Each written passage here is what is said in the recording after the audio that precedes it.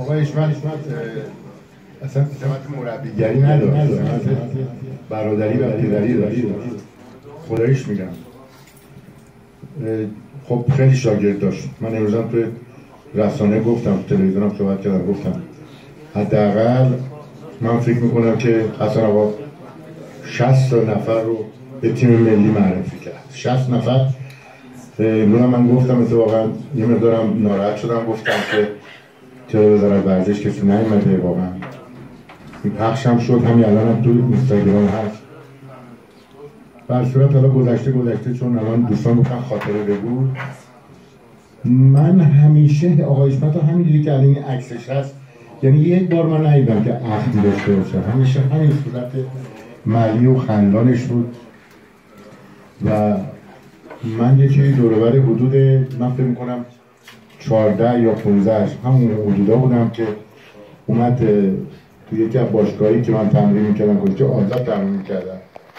و اومد با اون مربی رحمت کنه خدا اوشونم آقای احمد حاتمی که ما اونجا آزاد تمرین می‌کردیم. اومد من با حسین کوچن مرحوم حسین کوچن یه تمرین کردم و بعد گفتش که اینو بفرستید بیاد کشتی فرنگی. منم هم کشتی فرنگی دوست داشتم هم دوست نداشتم. دوست نداشتم به خاطر اینکه اون موقع زیاد اهمیت نمی‌دادم ولی دوست داشتم به خاطر فنون زیبایی که توش تداعی می‌شد. ولی خب هیچ کم فکر نمی‌کرد. مثلا من تو سنگی وزن خب سنگی نبودم. بتونم فهم بزنم فنون رو اجرا کنم.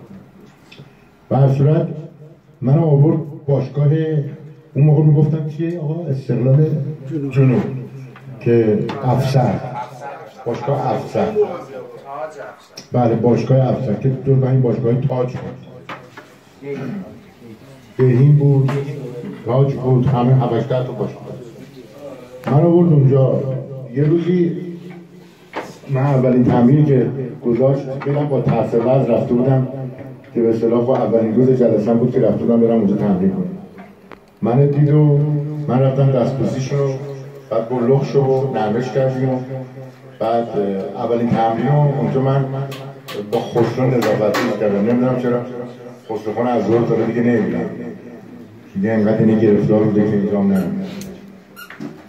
اولین تمرین کردم با ایشون. ایشون خیلی گردن گلوت و زوردار و منو مالون قصه بلند کرد در زمین این مالون من نامید شدم. من نامید شدم. کشی گرفتن بعد وقتی رفتم دوش بگیرم اونجا تنها جایی بود که ما کسیم راحت بگیرم باشگاه دیگه نه. گریه می‌کردم گریه می‌کردم و پشت سر من اومده بود دیده بود من گریه می‌کنم. به خدا انگار مثل که همین هفته پیشه در روز یه دست نوازشی بود تو پسر خوب میشی ناراحت نشو. ببین نداره. چه گفتم خیلی خوردم زمین ببین نداره. خوردن زمین باعث میشه که به خاطر زیاد داریم. یکی از خاطراتم هم که سرنگ نبودن من داشتم می‌گفتم من وقتی تازه یه ذره خوب شده بودم خدا همون هر کپونن شاگرد داشت که ذره خوب می‌شد خودش یه مسابقه میذاشت. سولی یادتی که یه مسابقه میذاشت. امروز رشید محمد داشت می‌گفت. بعد یه روز من گفتم تو حاضر شو هفته دیگه تو کشتی می‌خوام مسابقه دور دوشک همه میشستن. بعد مثلا می‌گفت بیا جلو. خب از من خیلی بزرگتر بود و من تازه جوون بودم که داشتم جون می‌گرفتم.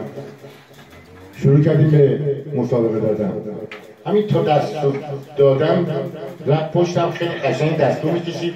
رفت پشتم یه سال تو یه سال تو زد ما اشتباه کردیم بگید مثلا تلافی کنیم.